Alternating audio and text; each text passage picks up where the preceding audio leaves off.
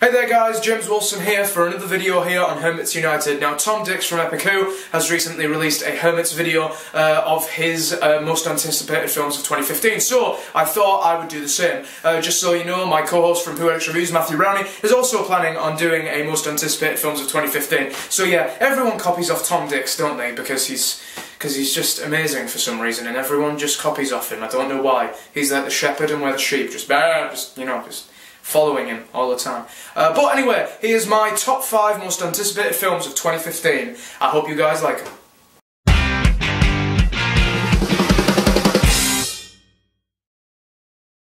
So then guys, it's time for another Hermits United vid. Today I'm going to be doing my top 5 most anticipated films of uh, 2015 and then at the end I'm going to be giving my honourable mentions because there's too many exciting films happening this year uh, to just do only 5. So then guys, without further ado, let's get on with number 5. So then guys, let's begin with my fifth anticipated film of 2015. Now, everything about the film Mortdecai is pretty much reeking a box office flop for Johnny Depp. In recent years, Johnny Depp has not had the best of luck with films, and he's not decided very well on what films he wants to work on. Uh, Transcendence, uh, a recent film that he did uh, about a character who dies and pretty much gets downloaded and pretty much takes over the entire of the internet and just basically all the world's technology, uh, is uh, was pretty. It was a pretty bad film. Uh, Pirates of the Caribbean 4. That's pretty much where all of his bad films started, and right from there, all of his films have pretty much been bad all the way through. Uh, but there is something about Mortdecai. Yes, it sounds like a bad rip-off of Pink Panther. Uh, but there's just something about this film. There's something about its class. It's it, uh, quite a lot of funny jokes and quite a lot of its slapstick humour that Johnny Depp seems to pull off very, very well. And Johnny Depp has always, I've felt, had a great look with uh, comedic timing. Uh, we all know that from his performance as Captain Jack Sparrow in Pirates of the Caribbean.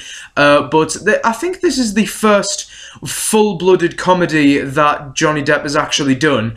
And, uh, and and that's and that's no easy feat for him because with Pirates of the Caribbean there were always moments of drama or or suspense or action packed um, scenes in Pirates of the Caribbean with certain hints of, of comedy. But this is a fully blown comedy, and, and although it does reek a Pink Panther ripoff, it there's just something about this film that is drawing me to it, and uh, and it looks like it the direction looks pretty good, the comedic timing looks absolutely flawless. So yeah, uh, I'm going to go into the cinema and sit down and watch Mortdecai or watch it when it comes out on DVD. I really don't know yet, uh, but I am going to sit down, watch this, and hopefully I am going to be surprised uh, by Johnny Depp for once. Please Johnny, please, you used to be really, really good. Just please, give us a good film.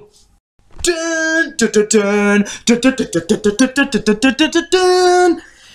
That was my absolutely dreadful impression of the Star Wars theme tune. Let's just completely forget about that. Anyway, next up is Star Wars The Force Awakens. Now, last year when we were given a very small teaser of Star Wars The Force Awakens, it really did excite a hell of a lot of us. Uh, that's the thing about Star Wars. I mean, I'm not that much of a big fan. Uh, well, I'm not as much of a fan of it as uh, Matthew is or, or, or, Joe Oliver is, uh, who's on Hermits United. But I am a fan and I have watched all, uh, I have watched the first two trilogies and of course I don't. Of course I do prefer uh, the first trilogy to the second one because the prequels, in my opinion, were dreadful. Apart from Revenge of the Sith, that was the only decent one out of uh, out of all the prequels, in my opinion. But uh, from the uh, teaser trailer that we got, there was no nostalgia really there. The, the, there was only the stormtroopers and the amazing Millennium Falcon soaring through the skies, getting shot at with lasers, and there was a and, and a lightsaber. Uh, so yeah, that was pretty much all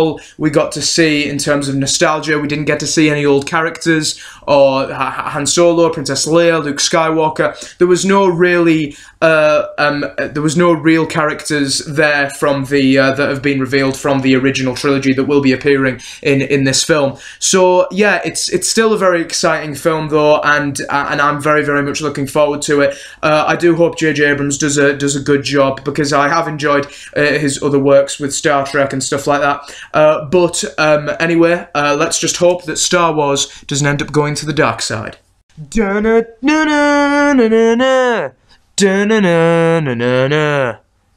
Wow, I should really stop doing impressions of famous theme tunes. It is seriously killing me. But my next most anticipated film of 2015 is the next James Bond film, Spectre. My god, I cannot wait for this film. I am so excited for this. I mean, how can they possibly beat Skyfall? I mean, with Sam Mendes at the helm, of course, this James Bond film is going to be absolutely brilliant. And I don't know if it'll beat Skyfall because Skyfall, I think, beat every record of every film that year, or, uh, or at least it beats the record for the uh, best uh, James Bond film ever.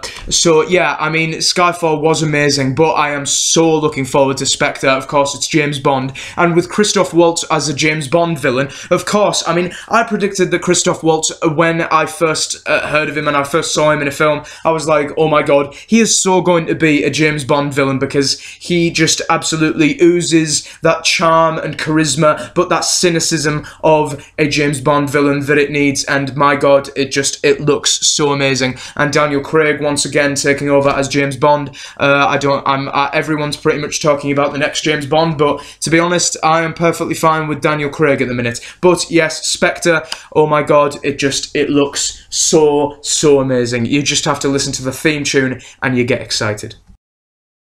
Now, I hope you guys will agree with me that Disney Pixar have produced some of the most original and entertaining films of all time. Uh, they have made us think about forms of life that we never would have considered before. The life of toys when we're not looking with Toy Story. The lives in our, of bugs in our back garden with Bugs Life. And Cars and, and The Incredibles and so on and so on and so on. They've created the most entertaining animated films I've ever seen ever. And my most anticipated film of 2015 now is Inside Out, where they pretty much shows the voices in our heads, the emotions that drive us. And I think putting that in animated form, I think is just absolutely genius. I think it is another original idea created by Disney Pixar. I think it is just absolutely amazing. I mean, I've been losing hope in Disney Pixar in recent years because all they've been doing is just blurting out constant sequels and spin-offs to other franchises with the cars, then there was planes, then there was planes 2, then now there's going to be a planes 3 there was Cars 2, and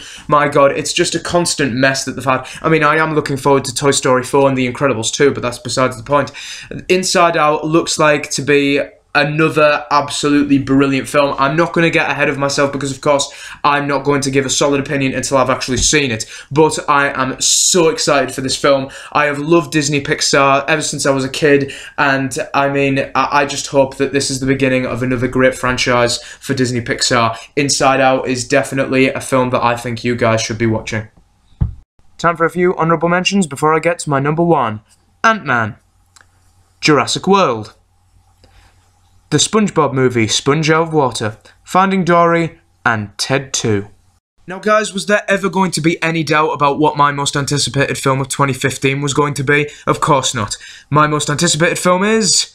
Avengers 2 Age of Ultron. My god, I loved the first film so much that I must have possibly slept with it a lot. In fact, over the last over two years that have passed since the first film, I must have watched that film over a thousand times. Seriously, I loved the first film, but I have a feeling that I'm going to love the second film even more because it feels like it'll mean more to the characters. Because uh, in the first Avengers, I think Loki and the Chitauri weren't exactly very worthy foes for them. There was a whole army of them, and yet they defeated them a little bit too easily. That's the one problem I have with the Avengers. And uh, don't get me wrong, Joss Whedon and Kevin Feige, my god, they and the rest of Marvel, they did such a good job. They had such a huge movie to pull off. I mean, Avengers is beloved by so many people, and it's basically a collaboration movie. It's all these superheroes crammed into one huge movie. They had to make it the biggest movie that they possibly could. They had to have Iron Man, Captain America, Nick Fury, the Hulk.